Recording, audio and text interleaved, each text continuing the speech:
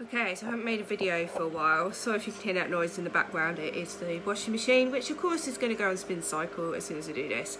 So I'm looking pretty rough. I've um, got my hysterectomy tomorrow. So I'm having a total laparoscopic hysterectomy, um, which means it's keyhole and they're taking everything bar the ovaries as long as they're okay.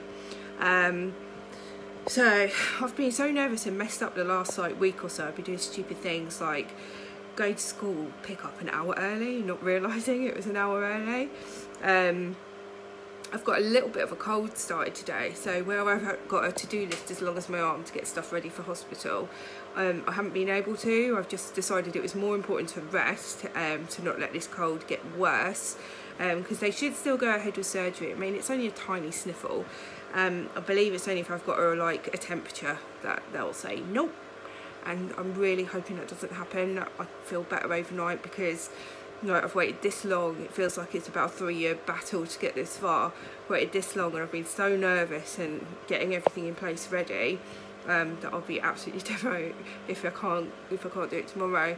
So I'm actually feeling a lot calmer. I've been so nervous and such a mess, um, but I'm actually feeling quite calm.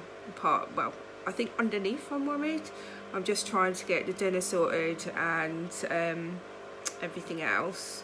They, I had to go in on Monday for another blood test to get my blood type because they need to keep your blood on standby in case you have a transfusion because that sort of really brought it home that it is major surgery.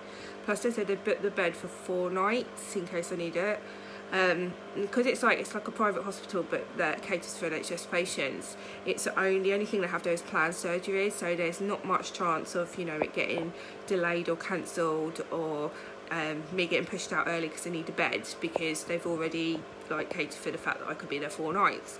Um, so that's good obviously I'm worried. There's a lot I'm worried about I spent a lot of time in Facebook groups talking to people. I've had uh, made lots of friends um, a couple of which have had theirs in the last few weeks. So picking everybody's brains. Here comes the spin cycle. Picking everyone's brains and getting myself prepared. I'm like proper armed with information. Because these this isn't good. I really hope like like I say I haven't been ill for ages. I haven't had a cold or anything for ages. I survived all of Christmas doing people's nails without a cold. And like broken up the day before with this. So I just really, really, really hope that it, it, just stays like this. If it's like this, I can cope. Um, so yeah, there's just so much going through my head. But I'm trying to keep in mind that this is the beginning of feeling better. Um, this is, well, obviously I'm going to feel worse for a while, but I'm hoping that, you know, it's not the sort of more problems than it's the beginning of getting back to myself because it's been a long time. It's been pretty crap. Um, so yeah, I don't know what else to say really. I will obviously going to be doing a lot of vlogs the next few days and weeks to let you know how it goes. Um, but definitely think it's good to arm yourself with lots of information. I think if I hadn't, there's a few hurdles that would have really freaked me out. So for example, a lot of people they give a spinal to to like numb them and like so that when you wake up you're not in loads of pain.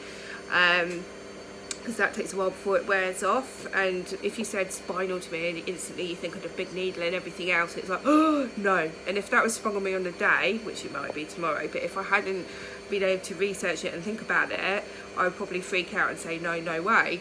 But like everyone's reassured that it doesn't actually hurt when they do it you don't feel it and it's so brilliant because afterwards um, you know it numbs everything for a long time um, so you don't come out in agony. It's just a gradual thing. But from what everyone said they've been really good with pain management everywhere as they don't want you to suffer. Um, so I don't know. It's got an afternoon operation tomorrow. Um, I've got to get there for one. So I don't know where I am on the list um, but I imagine that I will be pretty non-compos mentis. Definitely going to be in overnight um, you know I think it just varies so much from person to person. I've got quite a few people that have been in one night lots of people that have been in two to three nights. Um, and that's like without complications. So hopefully we don't get any complications fingers crossed but you just don't know what they're going to find till they get in there. Like it's the unknown. I think the unknown is the scary bit. I don't know how long I'm going to be sick. Like I'm self-employed, so it's like really hard financially. I'm single parent. Little Austin, bless him, he's so worried. He said, I don't want them to put holes in you and put robot arms in you. It's like, oh. And I, I think he thinks it's like medieval torture, and I had to reassure him, I won't be awake, I will be asleep, and I won't feel a thing. Like, you know, they're not cutting massive holes in me and sticking big, humongous robot arms in.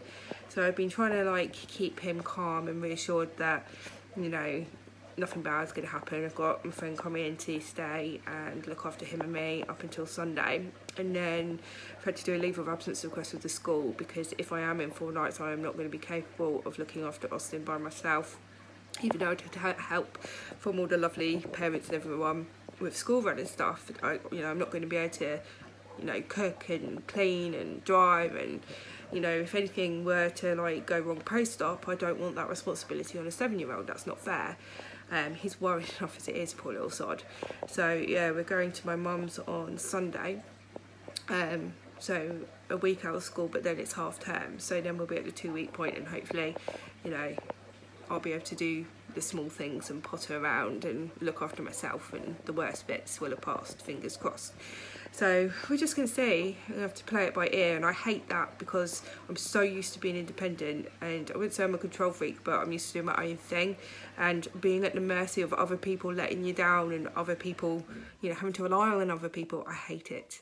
Hate it. Hate it. Hate it. I'm so used to not having to do that. Um. So yeah, I'm worried. I got really tearful. I think on Sunday it was. Watched the last episode of Friends again and I cried and little Austin cried. I can't believe it's over. So yeah I'm just gonna carry on doing as much of the housework as I can get done.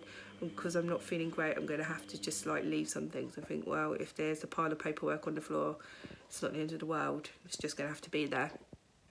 So I have plenty of time when I'm like halfway better to sit and sort through that um, but yeah I don't know what else to say really any questions just post them below and I'll get back to you. And yeah, fingers crossed. I can't believe the day is finally going to be here. So bizarre. What's that noise? Oh, that's the oven. All right. Scared. I am scared. But I'm not really feeling it. I'm a bit numb. I'm all over the place, let's be honest. Right, anyway, I'll update you as I go.